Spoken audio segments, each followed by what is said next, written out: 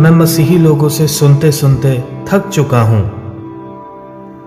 भाई पॉल, मैं बहुत ही निर्बल हूँ। आप कहते हैं, भाई पॉल, आपने अपना प्रचार ये कहते हुए शुरू किया कि आप कमज़ोर हैं तो हम क्यों नहीं कह सकते? पर मैं आपको इसका वाक्यांश या इसका अर्थ बताना चाहता हूँ कि सबसे पहले आप निर्बल नहीं हैं। और मैं ये साबित कर सकता हूँ। पिछले हफ़्ते में आपने कितना समय परमेश्वर के वचन में बिताया कि आप उसको जाने और प्रार्थना में ये जाना कि परमेश्वर और उसके काम के बिना आप इसको पूरा नहीं कर सकते देखिए, ये बड़ा आसान है ये कहना कि मैं निर्बल हूँ। आपकी समस्या ये नहीं कि आप कमज़ोर हैं, आपकी समस्या ये है कि आप समझते हैं कि आप बलवंत हैं और मैं आपके आत्मिक जीवन को देखकर ये साबित कर सकता हूँ। आपने देखा? हमारा समस्या ये नहीं कि हम बहुत निर्बल हैं, परंतु हमारा समस्या ये है कि हम अपनी निर्बलताओं को जानते नहीं क्या आप इसे देखते हैं? इसलिए मसीही इतिहास में दास दासी जो परमेश्वर की ओर से अद्भुत रीति से इस्तेमाल हुए उन सब लोगों में एक बात सामान्य है कि वे अपने निर्बलताओं को जानते हैं। अब ये बात मैं आपको बताना चाहता हूँ, ये और ये बहुत बहुत महत्वपूर्ण है। निर्बलता सामर्थ्य के लिए कोई रुकावट नहीं है, परंतु निर्बलता आत्मिक सामर्थ्य के लिए एक सूत्र है, पर दिक्कत, गलत प्रतिक्रिया है। सो सबसे पहले हमें ये बात जानने की ज़रूरत है कि हर एक निर्बल है। हमारे प्रति नए नियम में जो भी मांग है, वो एक साधारण मनुष्य के लिए वो करना असंभव है। अब इससे पता चलता है कि हम सब एक समान मैं, आप, स्पर्जन, जॉन पाइपर, हम सब हर कोई निर्बल है। अब आप अपनी निर्बलता को एक बहाने के लिए इस्तेमाल नहीं कर सकते, क्योंकि हर कोई हमारे जैसे निर्बल है। कोई भी इस तरह चल नहीं सकता है। कोई भी नहीं। सो जान लीजिए कि हम निर्बल हैं। तो सवाल है कि फिर हम करें क्या? बहुत से मसीही निर्बल होने के लिए मुँह बनाते हैं, क्योंकि ये ज़्यादातर मसीही लोगों के द्वारा कहा जाता है कि वो निर्बल है। दूसरे लोगों के द्वारा भी ये बात आम तौर पर कही जाती है कि क्योंकि वे इस बात को पाप के लिए एक बहाना करके इस्तेमाल करते हैं।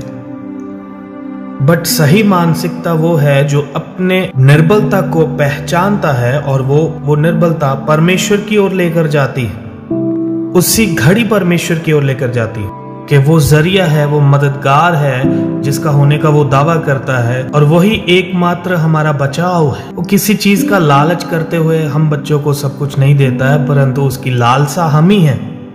सो समस्या ये है कि हम नहीं जानते कि हम कमज़ोर हैं। या फिर हम जानते हैं कि हम निर्बल हैं और निर्बलताओं में ही रहना चाहते हैं। बात यह है कि आपकी निर्बलता आपको परमेश्वर की ओर लेकर आना चाहिए। पर एक समस्या है, आइए अंदर झाँक कर देखते हैं। आपका हृदय आपको दोष देता है और शैतान आपके हृदय की मदद करता है। मैं कल रात किसी से मिला और लंबे समय तक मेरी उनसे बातचीत चलती रही। एक एक प्यारी छोटी बच्ची मेरे पास आई।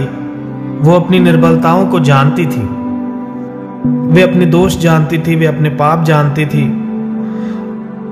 और उसको इस बात की पहचान थी कि उसके जीवन में कुछ ऐसा है जिसके ऊपर वो जय नहीं पा सकती। बट उसकी दिक्कत ये थी, वो अपने पाप को देखती है और शैतान के कार्य के अनुसार और कई बार हमारा हृदय हमको दोष देता है और वो अपने आप को एक सजा के डिब्बे में रखती थी जब भी वे पाप करती थी।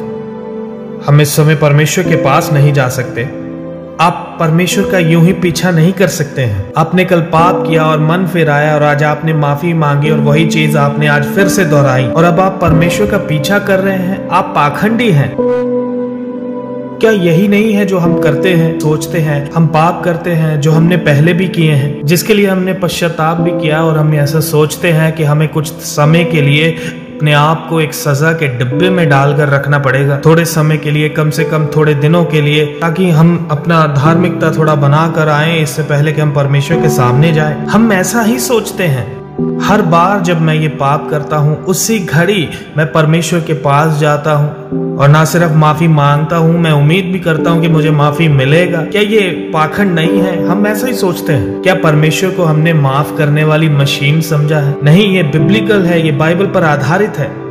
मेरा ये प्रचार उन लोगों के लिए नहीं है जिनके जीवन में कोई बदलाव नहीं आता। जो ऐसे कहे, वाह, परमेश्वर, अगर इतना भला है तो क्यों ना मैं पाप करता रहूँ और फिर वापस जाकर परमेश्वर से माफ़ी माँगता रहूँ? ज़ाहिर सी बात है, मैं ऐसे लोगों से बात नहीं कर रहा। मैं सही मसीही लोगों से बात कर रहा हूँ। जो सच में ऐसा बनना चाहते हैं, जो वो नहीं है पर जब वे अपने आप को दोषी देखते हैं, अपने आप को निर्बल देखते हैं और अपने आप को वही पाप दोहराते हुए देखते हैं और वो यहाँ पर रुकते हैं और सोचते हैं कि शायद थोड़े दिन बाइबल पढ़ूँगा, थोड़े दिन प्रार्थना करूँगा और परमेश्वर के सामने अपने आप को बड़ा गंभीर दिखाऊँगा। इससे पहले कि वो परमेश्वर के पास जाए और परमेश्वर से माफ़ी मांगे। नहीं!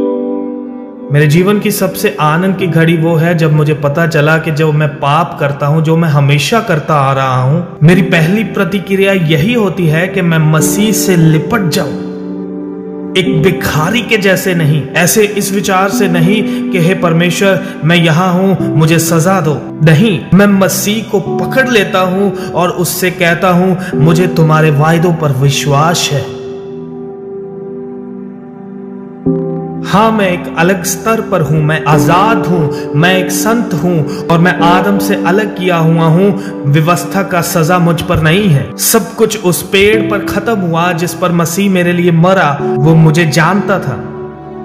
उसने संपूर्ण माफ़ किया है।